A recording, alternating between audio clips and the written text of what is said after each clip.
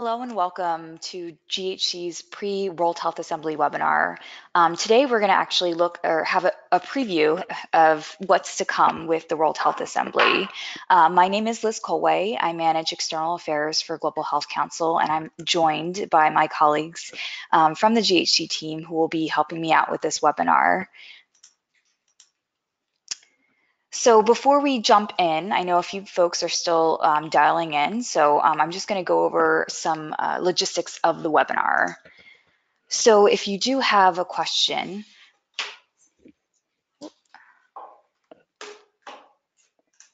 Okay, now you should be able to see my screen. So before we get started, I'm just going to go over some logistics of the webinar. Um, if you do have questions throughout the presentation, please be sure to use the chat box um, on your GoToWebinar panel. Um, we'll be sure to get to all questions or as many as we can at the end of the webinar. Um, and there also might be a few moments throughout that we're going to take uh, some polls from our audience members. So be sure to, again, use that chat, chat box. Um, and also if you can just note um, who you are and if you represent an organization, that would be great as well. So the agenda for today's webinar, um, we already went over some logistics. Um, I'm going to give a very brief overview of the 72nd World Health Assembly with um, some fast facts of dates um, and deadlines to remember. Uh, for those that are joining or going to WHA for the first time, we will have a more formal delegate orientation um, mid-May, so right before the start of WHA, but I will not get into those details right now. Um, and then I'm going to go into GHC's presence at WHA, including our delegation, um, the, uh, the, statement process, or how you can submit statements as a GHC member and delegate, um, and then look over some side events or ones that we know of so far, um, and then also, again, pull our audience to see who is organizing side events and who might want to share some information. Um, and then Loyce, our executive director, is going to go over some core messaging uh, for or from GHC, uh, really for um, the global health community. Um, and then again, at the end, we'll take some Q&A. So before I get started, just a brief overview about Global Health Council. I know many of the folks on the phone are members or are already involved with Global Health Council, which is great. Um, but for those who might be joining us for the first time, uh, we are a membership organization. We support and connect advocates, implementers, and stakeholders around global health priorities worldwide. Um, our members um, and partners represent a, ride, a wide range of uh, global health sectors, so including academia, um, implementing global health partners or NGOs, um, the private sector, uh, and, and many advocates as well. Um, so we re represent the collaborative voice on of the global health community on key issues. Uh, we also work to convene our stakeholders around key priorities um, and then actively engage with decision makers to influence global health uh, policy. Uh, and you can learn more about us and our coalition um, on our website. So I've included the link here um, on this uh, slide.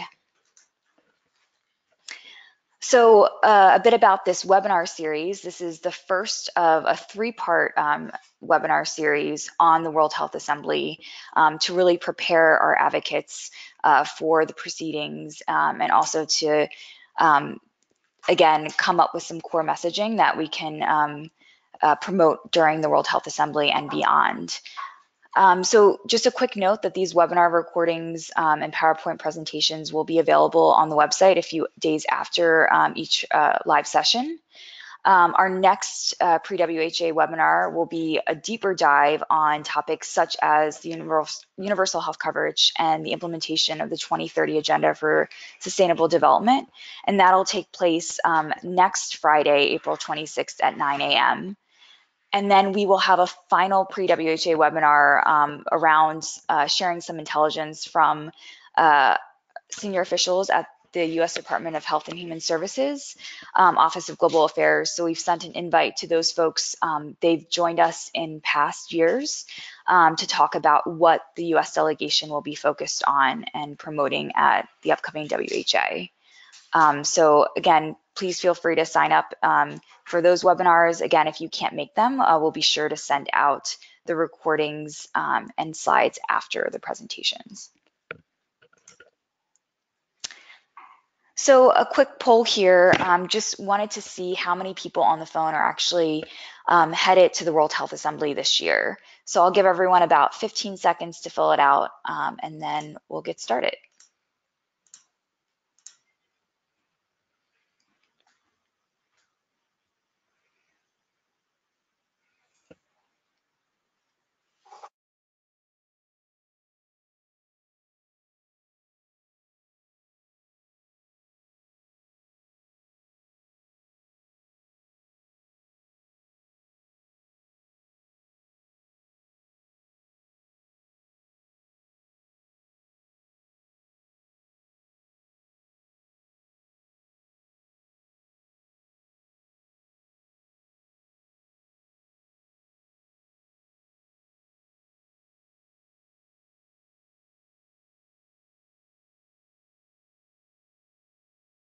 Great, thanks for sharing um, and participating in that poll. So it looks like a majority of those on the line uh, will be attending and there's still a bunch that won't be, but uh, will be following along online, uh, which is great because there are still several sessions that are um, actually available via live stream. Um, WHO uh, usually has proceedings online that you can follow live, or you can also um, look at past recordings as well.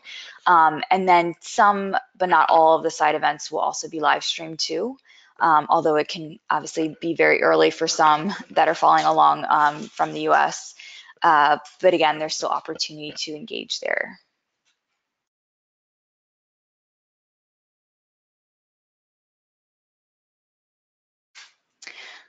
So WHA this year opens up on Monday, May 20th um, at 9.30 um, a.m. Uh, Central European time and will close the following Tuesday, um, May 28th.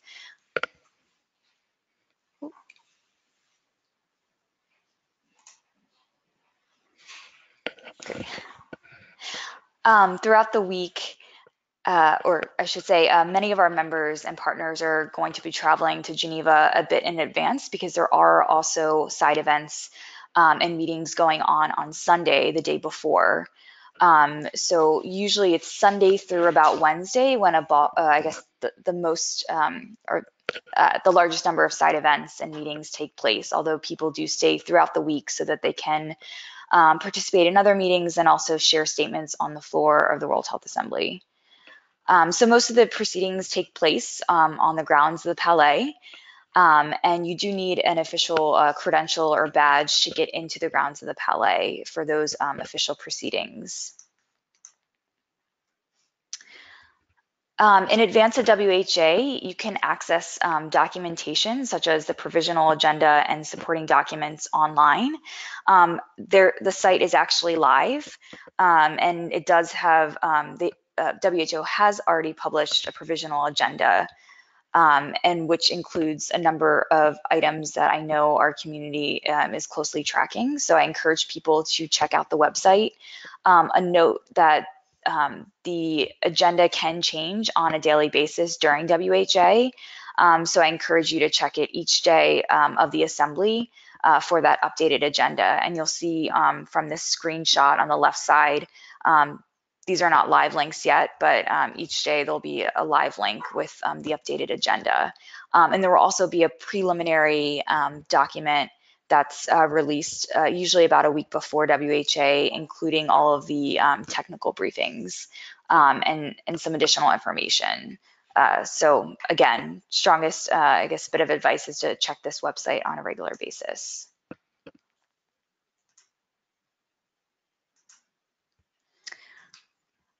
So I mentioned the technical briefings. Um, these are lunchtime briefings hosted Tuesday through Friday by WHO technical staff.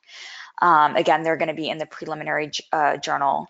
Um, and they are during a time where the official proceedings are not taking place, um, so people can attend um, and not be distracted by other things going on um, in the Palais.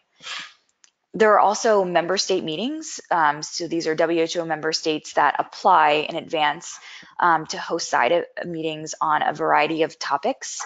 Um, those events have not yet been published, although um, you can find uh, applications that were under consideration online. Um, so these are events that may or may not have been accepted, um, but you can kind of uh, see what types of topics uh, member states are following this year. There are also official non-state actor side events. Um, there are a total of 10 this year. They're 50 minutes each. Um, they take place um, in the evenings, again, after the WHA formal proceedings, um, and they'll be taking place Tuesday through the following um, Monday evening. Um, and you can find a list of those official non-state actor side events, again, online with the link that I provided here.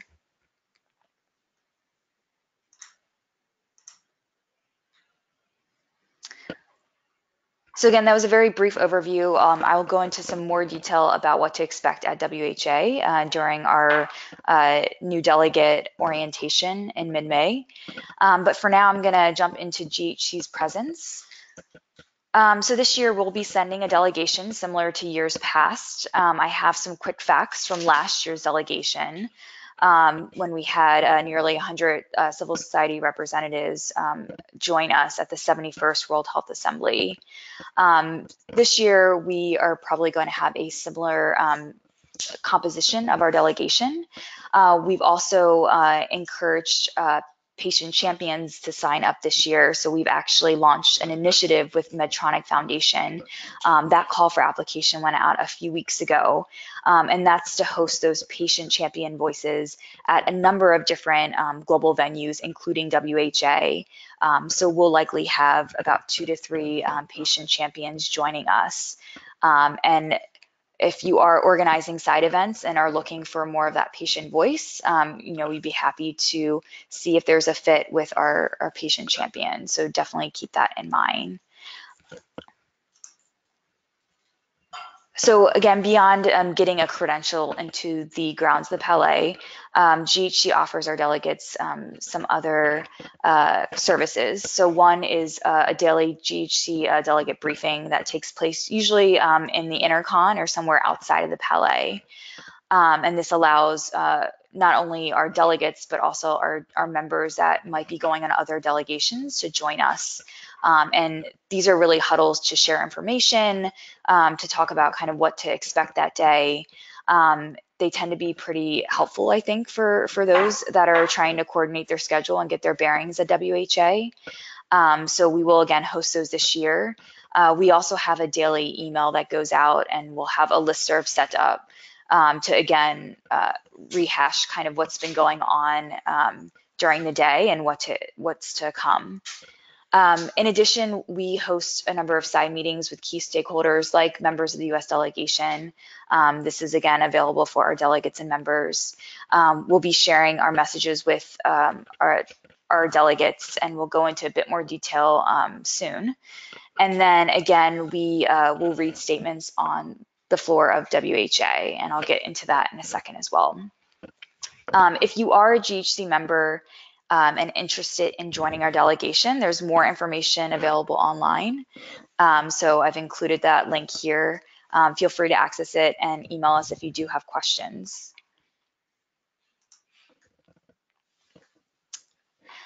So unfortunately, Danielle can't join us for this segment, so I'm going to go um, into detail about statements.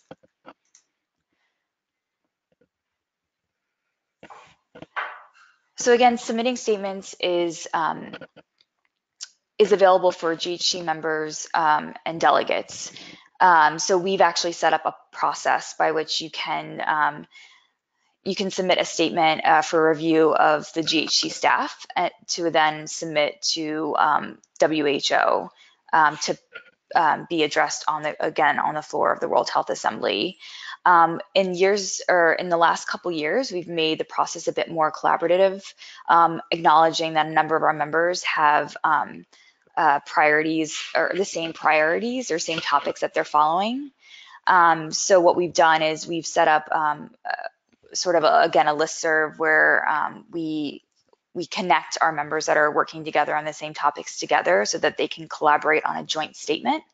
Um, and then GHC staff will um, do their best to uh, make sure that statement is in align, alignment with GHC's uh, mission and principles um, and help to kind of tie up any loose ends before submitting that statement um, again to WHO. So I provided some more information here. Um, and there's a lot more in the, the policy that we provide it. Um, there are a couple deadlines, so we do ask that you fill out a Google survey, um, again, which is in this policy uh, document, uh, to express your interest in what statement you might want to, um, or what agenda item you want, might want to submit a statement on. Um, and then the final statement submission will be um, middle of May, right before um, the assembly starts.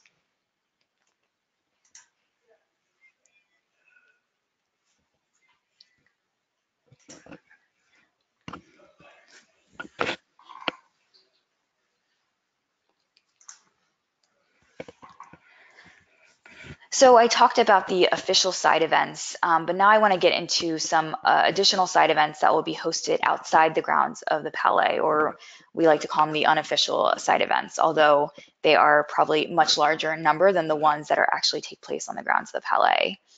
Um, so these are a couple of GHC's main um, side events that we're hosting, and actually we do have one that's included on the grounds of Palais as well.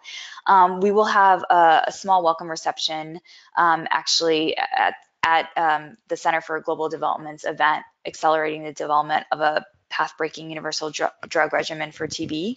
Um, so this event will take place Sunday evening. the invitation is forthcoming probably in the next week or so. Um, and we'll have a small table where um, delegates can pick up their badges um, and then otherwise meet and greet with one another. And this will take place at, again, the Intercon or the Intercontinental Hotel, which is um, right outside of the Palais. Uh, we'll also be hosting, um, or we also, um, uh, I guess, Save the Children is um, organizing an event on the grounds of the Palais, which we are supporting um, as Global Health Council. Um, and that event actually will take place Tuesday evening at 6 p.m.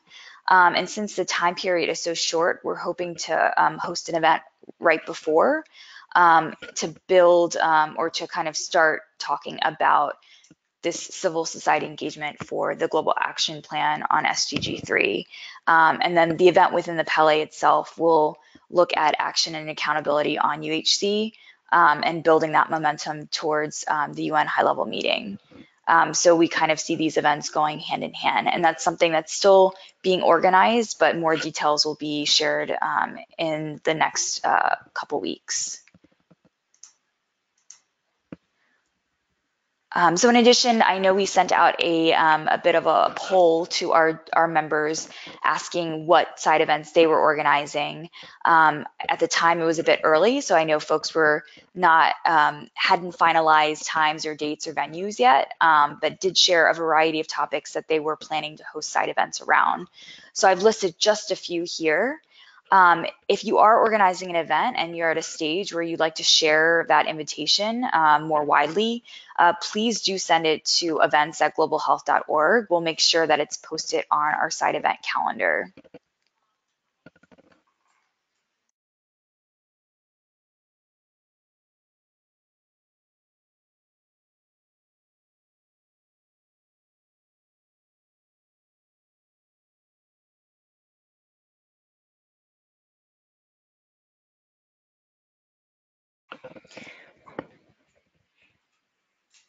And as I mentioned, there is um, a special events calendar that we host on our website.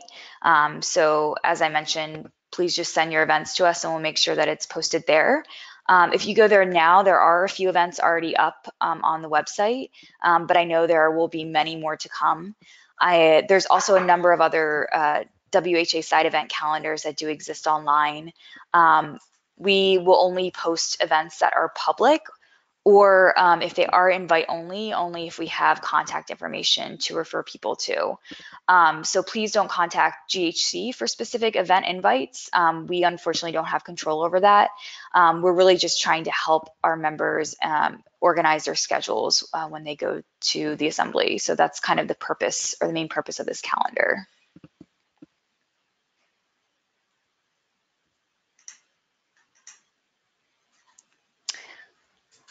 So now I'm going to pass the mic over to Loyce, who's going to go through some of our core messages. Um, and just to note that we are still drafting these and we're looking for input from our members um, so that we can really have a, a set of strong messages going into the World Health Assembly. Well, good day, everyone. Thanks for joining. It's Loyce here. Apologies for my voice. Um, a couple of us are a bit under the weather here. And actually, Liz, if you can go back to the last um, intro slide, I think what we want to do now is just take a quick pause to see if we can answer any initial questions that we have gotten on, on everything that Liz covered across side events, um, statements, um, and the like, just around the event uh, in general before we um, get into what we're hoping our core messages will be. So I think we had a few questions pop up. Um, hopefully um, those were answered throughout. Um, again, as Liz mentioned, uh, there it seems like we have a few questions specifically on the dates for specific site events. And as Liz said, there will be a calendar um, that will be available online um, that you all can reference for those. Um, but once again, just to review for those who might have missed that slide, we have a welcome reception on Sunday evening um, for GHC members and delegates. That'll be um, in partnership with another one of our member organizations. Uh, and then GHC is planting, planning, excuse me, to co-host um, an official side event with uh, Save the Children UK, who has taken the lead uh, on an event at the Palais with several other partners related to UHC. Um, per, it, um, we are hoping that um, in advance of that event on Tuesday, we have an additional event on UHC that we host um, at the press club so that the community feels like we can have a broader conversation than the 50 minutes that, we, than we've been, that we've been allotted for the Palais. Um, but there is an additional event that, um, um, that we'll be listing on our calendar that will likely be that Monday afternoon on the Global Action Plan. Uh, and again, that is um, something that has been taking place throughout this this year led by WHO to coordinate the various global health actors around their global health initiatives and investments. Recently, um, a civil society advisory group was stood up uh, to help um, guide that process from a civil society, so civil society perspective and ensure that we have voices in that space. Um, there will be a meeting actually uh, in uh, later this month uh, on the margins of the UHC multi-stakeholder meeting related to the Global Action Plan and civil society engagement. We will also be hosting a webinar, as Liz already mentioned, um, that will touch on this. Um, but us um, having an event at WHA is our attempt to provide yet another platform for the global health community to um, have additional dialogue around that process. So again, all of that will be outlined on our calendar, but I hope that that additional information will, is useful to you and you'll see um, as a as a link uh, in the sort of Q&A panel or the chat panel um, that we have provided um, a, a, link to to where these events stand currently. If you guys want to peruse um, the, the the events that we've already received and have posted. But as Liz said we we do so cautiously. We only do that with uh, having a good deal of information for you all. And so we understand there are many other calendars out there that might list um, more events than we have on ours but we have um, some tight parameters around what we list just because we we we don't we want to limit limit the number of questions that you all have about timing and RSVP and the like. So hopefully that, that answers the questions that we got on events. And it doesn't look like we have any further questions on statements. And so with that, I will I will move move us along. Um, but thanks for allowing us to pause there in the event anyone had any additional questions. So as Liz said, um, we, you know, we have this delegation uh, um, that we've been hosting for a number of years as GHC, and it's something that we've been really happy to do. Um, I think Liz has worked really hard with the team and with the delegates to ensure that in the past couple of years we also not just have um, sort of um, a group of people that have GHC badges, but actually have a group of people that are truly speaking with one voice, um, recognizing that each of us comes to WHA for different reasons and causes. Um, so last year, you know, we we really and, and I give a lot of credit to Liz for making a really great effort to um, uh, have us coalesce around some key messages. Um, uh, and in, in, years past, um, some examples of that have been, um, say, our, our, tips for Tedros. We have really, um, um, in, sorry, in the lead up to the last um, election of Director General for WHO, the community came together around some key messages or core messages um, for those candidates, um, and we really tried to promote those um, throughout WHA and in the in the months following, um, uh, as an example of, of how we could speak with one voice um, around the World Health Assembly. I think last year we did something similar, and we really focused on the diversity of our delegation as a key talking point, but there are a couple of other key key um, priority areas at WHA for which we tried to provide um, some some some core talking points um, for our community. So we're trying to do the same thing again this year, having looked at the agenda and again having polled the group regarding um, kind of where you're focusing your efforts. Um, and we've settled on a few key areas for now, but again, as Liz said, this is sort of open for comment or input or discussion. You know, we want these webinars not just to be information that you could get online, like the calendar, but you know, allow, um, enable you to have a little bit of back and forth with the team here about our plans, um, and and with those people on the phone too, um, about about plans and ideas with regards to how to approach um, the meeting, whether you're one of the people who's attending or one of you who's following online. So with that, the first the first um, um, core message we, we want to continue is this idea of um, the importance of engaging civil society. Um, as you all know, um, there has been, you know, um, ongoing dialogue at WHO about civil society engagement, and we're obviously grateful to WHO that they continue to um, allow for civil society delegations to attend. Um, you know, it's it's it's it, it, definitely is, you know, creates a bit more work um, for them and and an organization for us to a great degree, but I think we all view it as very important, and and Dr. Tedros himself has continued to echo the importance of engaging civil society. Of course, um, you know, this has not without, you know, real questions around um, around, you know, who's really showing up as civil society and the role that we play, the influence we have. And so we, we think that that type of dialogue is very important. Um, so much that we did offer a statement at the executive board meeting in January about civil society engagement. Um, uh, because there was actually a proposal that was um, put forth at that meeting um, regarding how best we could be um, we could be involved in in um, World Health Assembly and other WHO meetings. Um, and so while that it's, it's unclear whether or not this will be a formal part of this year's agenda, um, it will likely still be a part of the ongoing dialogue by member states and WHO staff.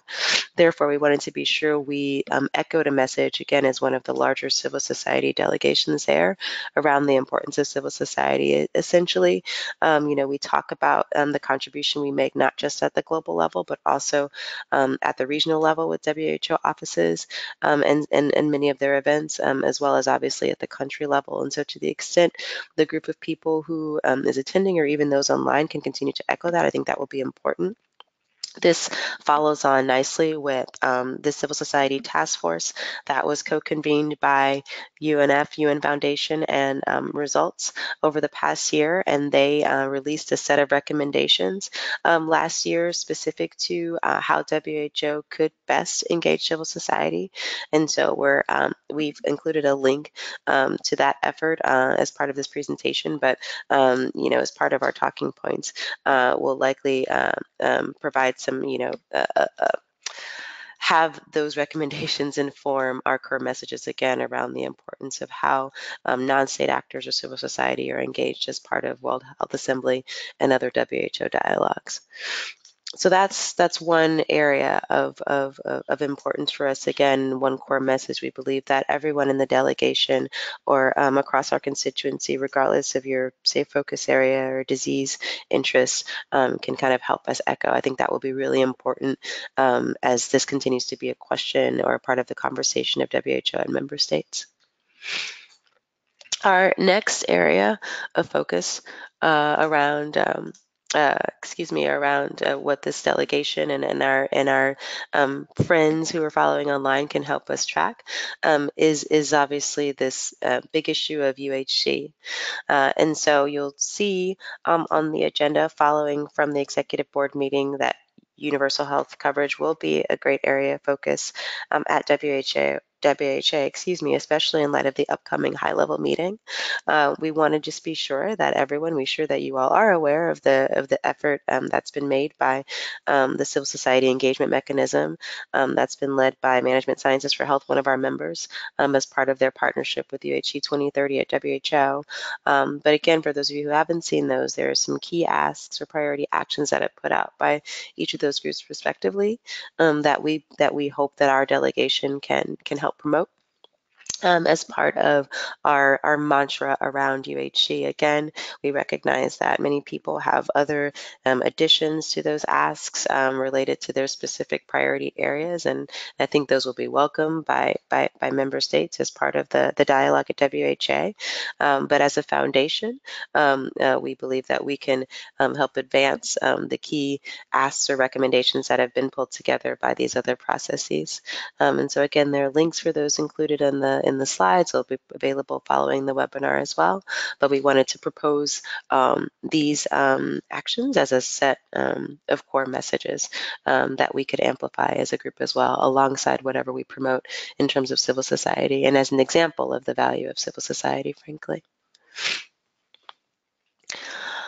Um, a third, um, sorry, um, a, a, there, um, uh, obviously are a number of other key messages that we could um, that we could promote um, as a group, and there are others that um, by way of example, I'll provide um, verbally.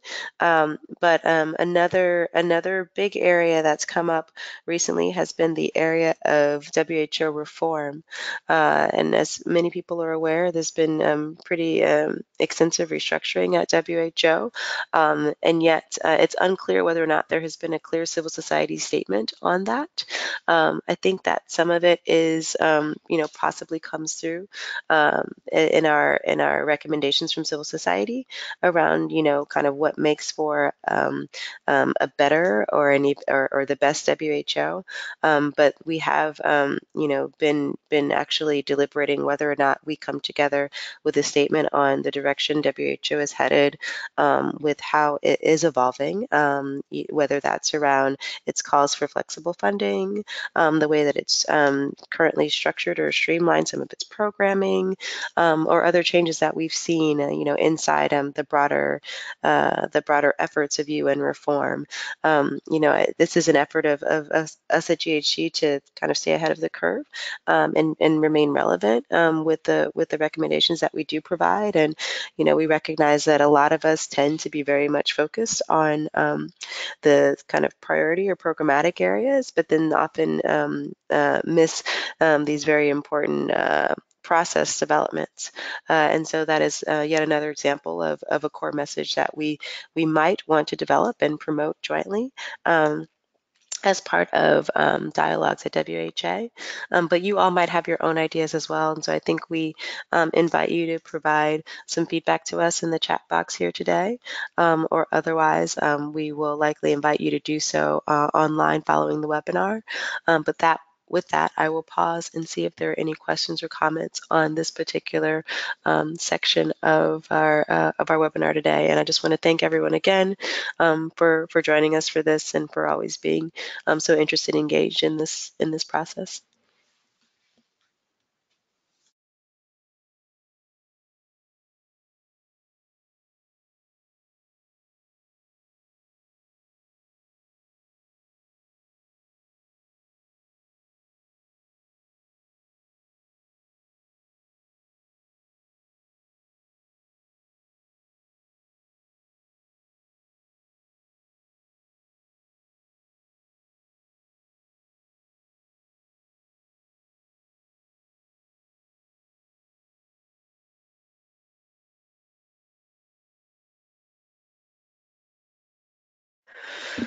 So we did receive one question that I think is a really important one about how we can integrate, um, and this is from Michelle, Dr. Michelle Farmer, how we can integrate larger issues of SDGs um, into our asks.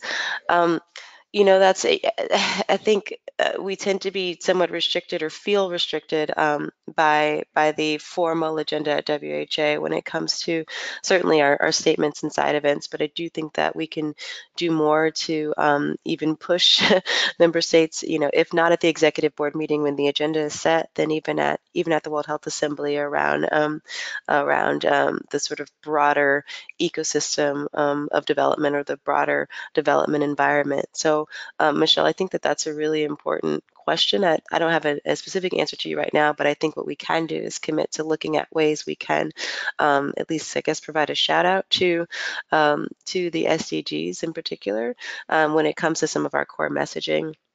I can definitely see that coming through um, in some of the UHC recommendations, and I believe some of that um, is there. But but if not, we can certainly um, do so in any comments we make on WHO reform, and even around the Global Action Plan, which obviously is um, is geared towards advancing progress on SDG 3 in particular. Um,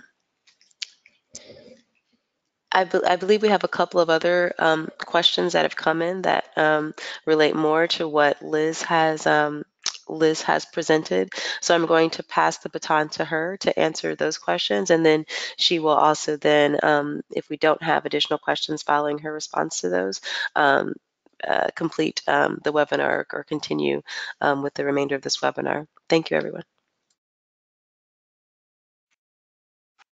Great. Thank you, Loyce. I appreciate that. So we did get a couple additional questions. Um, one is just around uh, the agenda that WHO puts out every day of the World Health Assembly. Um, so the question is that uh, when you've mentioned the agenda can vary every day, was it about the main WHA event or also including the side events? Um, so great question. Uh, I didn't explain that very well, um, but what I meant by the agenda changing uh, was not necessarily the topics or the events that will be happening, um, but just the, the timing of the agenda items. Um, so because deliberations can take maybe longer than expected, there are, um, for instance, some agenda items that are maybe slated or slated for, let's say, um, uh, Tuesday to be discussed, um, but because the deliberations run over, those agenda items are pushed into Wednesday's agenda, and then everything is a bit off and delayed. Um, and usually it is just because some agenda items take longer than others to resolve, um, and the uh, WHO does allow for uh, time for that deliberation and for member states to go back and forth, um, especially if it is um, about drafting resolutions to make sure that language is final. Um, but as for the technical briefings and the official member state and non um, uh, non-state actor events, those do stay the same um, throughout once they are published. Um, so thanks again for letting me clarify that. Hopefully that answered your question. Um, and I did also have a slide on the agenda topics themselves, but I realized that it got deleted in the slide deck, so apologies for that. Um, I did want to go into a bit more detail about um, some of the agenda items. Obviously, we mentioned a couple, one being UHC um, and looking at WHO reform, but there are a number of other topics such as access to medicines, um, looking at, uh, uh, I guess, developments uh, after the high level meetings last year on NCDs and TB. Um, there's also a number of other financial and governance matters that we are following closely.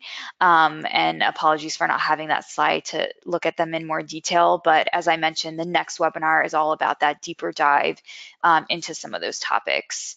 Um, so this was just to be kind of more of an overview to get you started on where to go and start looking at that preliminary information. Um, so we also had another question just about when WHO will formally be opening up the WHA portal. Um, so yes, yeah, some of these links I was able to find or that were sent to me from WHO. So I think they are still kind of rolling out everything online. Um, I'm sure part of that is just making sure everything's final or as final as, final as can be before posting it.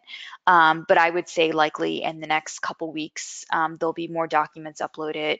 Um, uh, and like I said, including that preliminary journal that will come out. Um, so I usually just kind of check back on a regular basis to see what's uploaded. Um, so that would be my advice again to you all. So yeah, if there are any other additional questions, please send them um, please send them in through the chat box um, including messaging or, mes or questions about the core messaging that we just discussed. Um, but I will continue on just to a couple additional slides. Um, so following along uh, with our core messages, um, we will have a social media toolkit um, and content that will be shared um, in the days leading up to uh, WHA. Um, so we'll be putting together this social media guide uh, based on some of these draft messages that we've talked about. Um, we again encourage you to send um, your feedback to us so that we can make sure we're producing messaging that really speaks to the entire community. Um, we'll be we'll do our best to incorporate as many messages as we can, knowing that there are many of them. Um, but otherwise, we'll serve as a platform for you to share your specific messages at WHA. Um, so we're really looking forward to promoting your campaigns.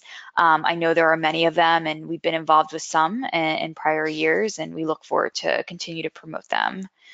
Um, and as I mentioned, we have a list serve that um, anyone is um, able to sign up for, regardless of whether or not you are a GHC delegate or member. Um, if you are following from afar, um, these kind of social media alerts or daily emails could be helpful to get a sense of what's going on um, on the ground since there tends to be so many different events and meetings all at once. It's kind of hard to keep track of everything.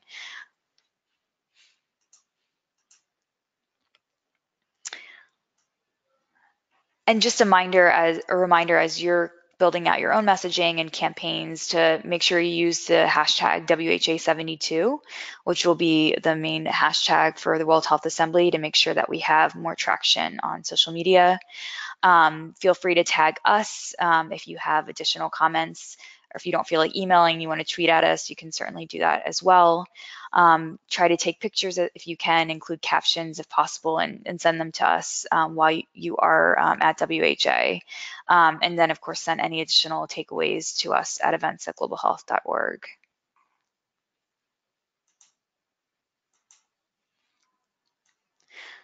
So that's all the formal content I have for you now, but I'm happy to answer any other questions you might have.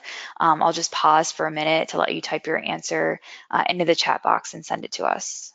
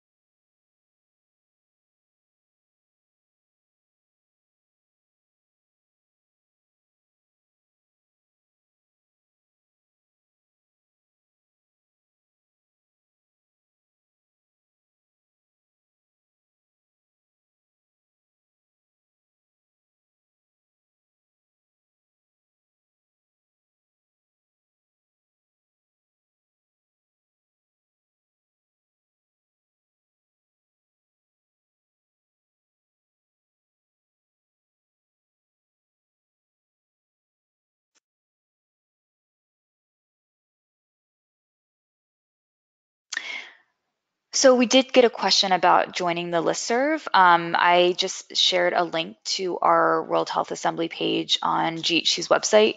Um, this includes all the information you could ever want it and more, hopefully, um, about our activities at WHA, including a link um, to sign up for our listserv, which will be essentially a Google group um, where we will share information um, with the group.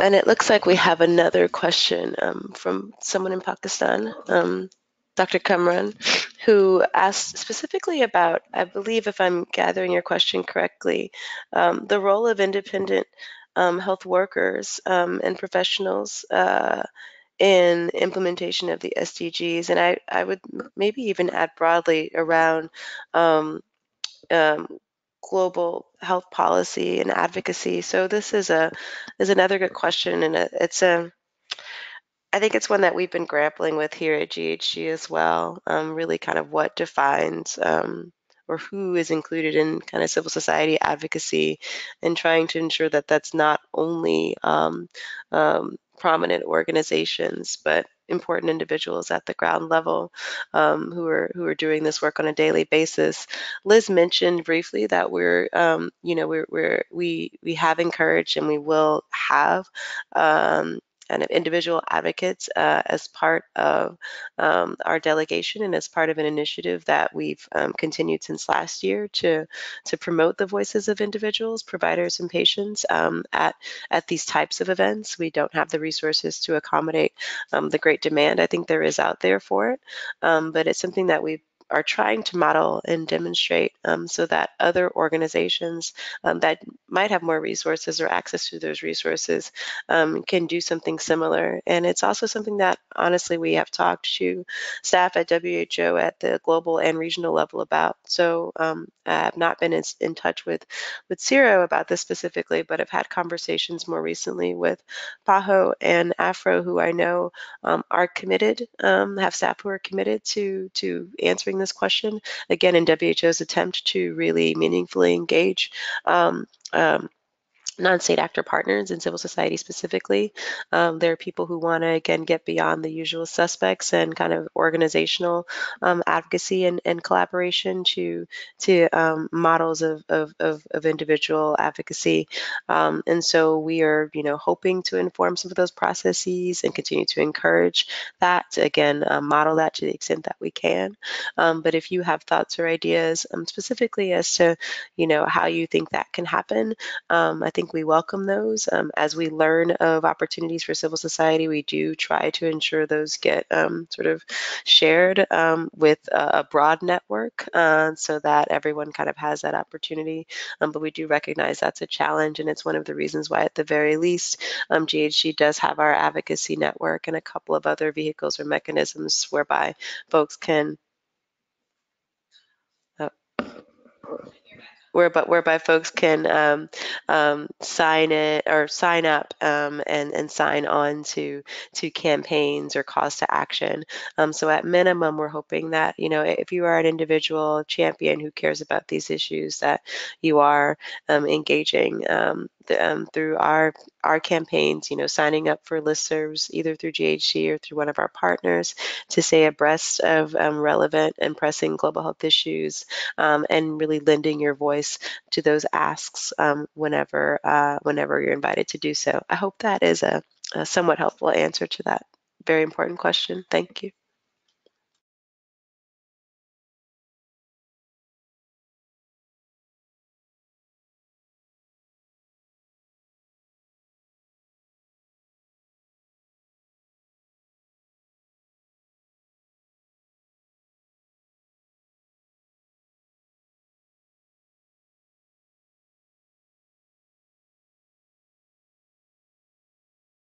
So it looks like we don't have any additional questions at this time, um, but feel free again to send your questions to events at globalhealth.org uh, if you do um, now and in the future. Uh, again, we'll be uh, putting these slides together and making them public so that you can access all the links that we've provided here today. Um, so hopefully this is helpful again in your preparation and just to give you again a very brief preview of what's to come at the upcoming World Health Assembly. Um, just a quick note that our next webinar will take place again on Friday, April 26th at 9 a.m.